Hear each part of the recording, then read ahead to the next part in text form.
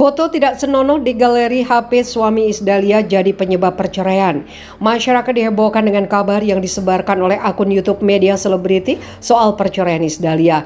Dalam video yang diunggah di akun YouTube media selebriti tampak menuliskan sebuah narasi yang menyebutkan tiga ada bukti kuat chat mesra dan foto tidak senonoh di handphone sang suami.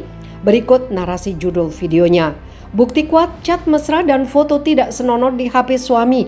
Alasan kuat Isdalia ajukan perceraian. Lantas apakah kabar tersebut benar adanya? Setelah dilakukan penelusuran ditemukan ketidaksesuaian antara thumbnail, judul dan isi berita yang diunggah. Berita tersebut hanya menginformasikan tentang keretakan rumah tangga Isdalia dan kelakuan menyimpang suaminya. Narator dalam berita tersebut hanya mengungkapkan bahwa Isdalia murka setelah menemukan chat dan foto tidak senonoh yang membuat putrinya Salsa terdiam. Selain itu, narator juga mengungkapkan keinginan Isdalia dan suaminya dalam menjalani rumah tangga mereka.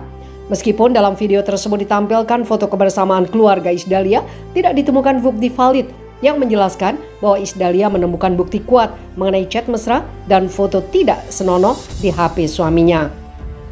Oleh karena itu, alasan Isdalia mengajukan perceraian tidak dijelaskan dengan jelas dalam berita tersebut.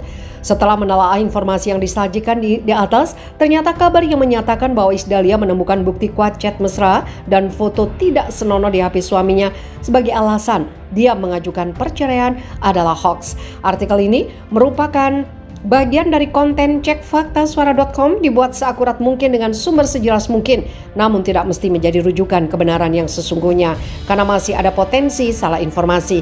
Lebih lengkap mengenai konten cek fakta bisa dilihat. Pembaca juga dipersilakan memberi komentar atau kritik baik melalui kolom komentar di setiap konten terkait dan mengontak redaksi suara.com atau menyampaikan isu atau klaim yang butuh diverifikasi atau diperiksa faktanya melalui email cekfakta@suara.com.